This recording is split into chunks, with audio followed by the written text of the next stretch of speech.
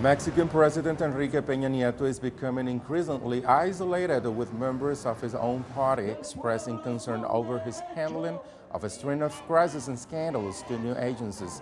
Peña Nieto's approval rating has slumped to 25% due to widespread concerns about violence and enforced disappearances just as the country gears up for midterm elections in June.